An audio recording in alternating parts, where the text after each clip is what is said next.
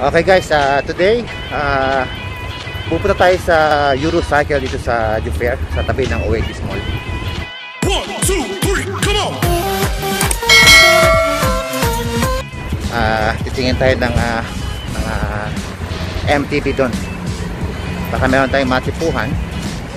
Kaya mag-canvas na rin tayo para makita nyo yung mga bisikleta dito. Okay guys? Okay guys, uh, nandito tayo sa sa Two hours later.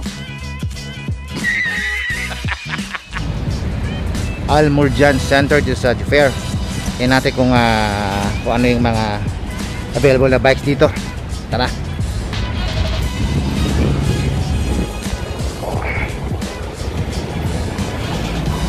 Wow, automatic.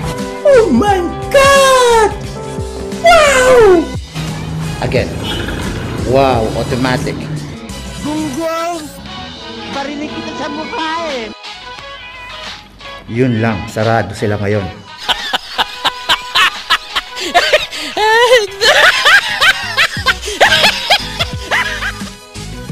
Kasi nga, in observance of Prophet's birthday.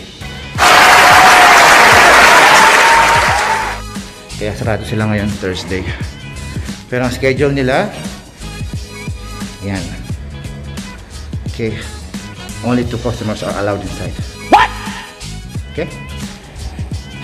Ito sana yung mga 20 tinasana natin ngayon.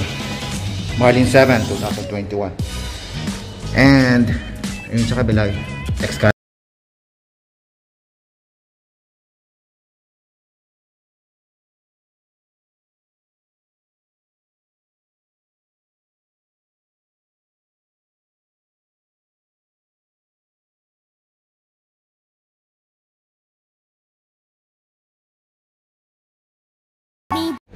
Yan, sayang. Sarado siya. Kaya, better luck next time. Balikan natin sa susunod na Thursday, guys. Goodbye.